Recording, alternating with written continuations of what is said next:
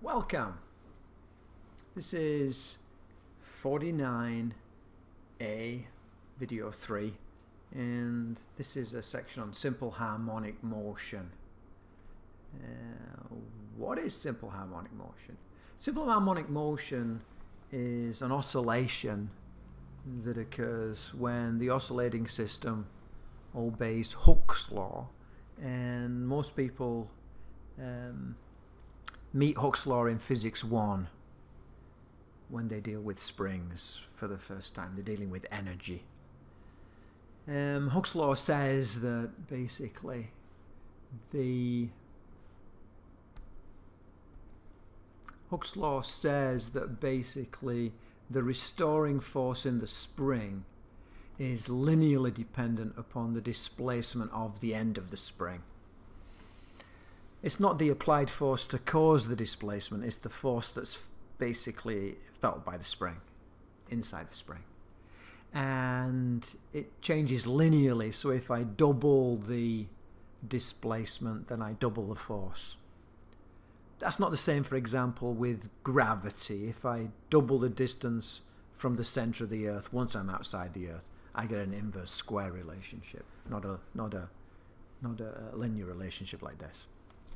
And the um, there's a negative sign there. What that means is that if the force is to the right, then the displacement was to the left, and if the force is to the left, then the displacement was to the right. So here's a diagram. Here's, here's a looking from the side. Here's a spring with a mass attached, and it's at equilibrium. And if I move it to the right, then the restoring force is to the left, but the displacement was to the right. You see how they're opposites to each other? That's your negative sign. And if I move the object to the left, then the displacement is to the left, but the restoring force is to the right. And because they're both vectors, that matters. So we say an object moves with simple harmonic motion when it obeys Hooke's law a block and spring combination is a simple harmonic system. The block, which is attached to the end of the spring, can slide horizontally across a frictionless horizontal table. This system obeys Hooke's law and it obeys uh, Newton's second law.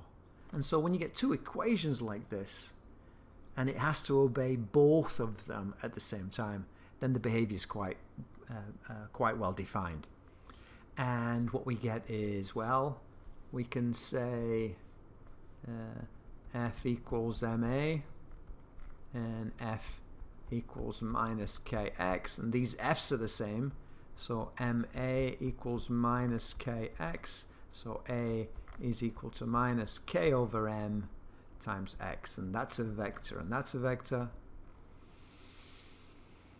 I don't learn that equation I can get it anytime I like just by combining these two equations. Let's interrogate it. What this is saying is that if I displace the mass more, I'll get a bigger acceleration. It's also saying if I displace the mass to the right, I'll get an acceleration to the left. And it's saying that uh, if I dub, if I if I uh, uh have a stiffer spring, stiffer springs are like the car springs in the back of your car. They judder, they, they go quite quickly. Uh, I would expect bigger accelerations. If I have a softer spring, I would expect small accelerations for a given displacement. And if I increase the mass that was being oscillated, if I had a bigger mass, I'd expect smaller accelerations. Well, big masses cause more inertia, so that makes sense. Small masses, quite responsive. Bigger accelerations, that makes sense. So this equation makes sense. Whenever you see a new equation, ask yourself, does it make sense? So that seems to work out. We could also have spoken about the pendulum, but the pendulum is a little bit more complicated, so it's best we deal with, with this guy. And so here's some background questions. In a simple harmonic system, is acceleration constant for different displacements? Well, I know that F equals ma. and I know that f is equal to minus kx. The more times you write things down, the more familiar you are with them. ma is equal to minus kx, so a is equal to minus k over m times x. These are vectors. And so I look at this and say, well, I'd like to compare how my acceleration changes for my displacement. And my acceleration is certainly not constant. As x changes, so a changes. And so the answer to this is, is acceleration constant? No, absolutely not. And then the second question is, well, what relationship links acceleration and displacement in a simple harmonic system? And we're given, oh, linear, inverse, parabolic. It's asking me what the mathematical function is here. And this is the linear relationship. And then the third question, in a simple harmonic system, is acceleration constant for different times? Ooh, time is not in this equation. And that might flummox you to begin with. But if you think about it, A is equal to minus k over m times x. But x is a function of time. If we draw it out, what happens is, as time passes, this object oscillates backwards and forwards.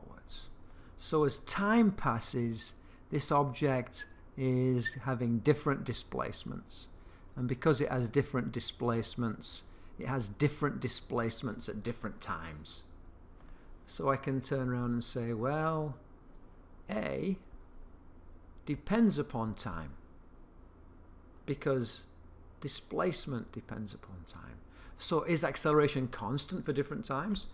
Well, I don't think so. The acceleration will be quite big here and quite small there and quite big here. As time is passing, the acceleration is passing, so it's not constant. Can you see how I'm, I'm using the equation not as a magic formula, I'm using it to give insights. And that's important skills to have. So mathematically, numerically, if you like, we can say a spring and block system oscillates horizontally on a frictionless table. The system displays simple harmonic motion. What is the acceleration of the free kilogram block? So let's draw it. So we have the table and we have the three kilogram block. And the three kilogram block is, oh I see, it's two meters two meters to the left of its equilibrium position and the spring constant K is equal to 6 newtons per meter. So what is the acceleration? Good idea to make a list. A is what I'm trying to find and I know a value of K. K is 6 newtons per meter and my mass of course is 3 kilograms. And then my displacement my x. Now in physics 1 we said in my class anyway we said delta x for displacement. By tradition we say just x for displacement in Hooke's law. It's just one of those things. People are more used to seeing it that way. But it's a displacement. And so the x is equal to well it's not just 2 it's minus 2. So then I put these together and I say, well, f equals ma. f is equal to minus k x. ma is equal to minus kx. a is equal to minus k over m times x. a is equal to minus 6 over 3 times is the importance of that being a vector. It's not 2, it's minus 2 because it is to the left. So therefore A is equal to, it's going to be minus minus 2 times 2 is 4 meters per second squared. So the answer is 4 meters per second squared, not minus 4 meters per second squared. And sometimes people will, will they'll make that slip. They'll either forget there's a negative sign in the equation or they'll not realize that that displacement, because it's to the left of the equilibrium position, look at its direction. Because it's to the left of the equilibrium position, it's going to be a negative sign. What this is saying is that, oh yeah, my acceleration is pointing in a positive direction. You see it? Good. So, uh, there we have it.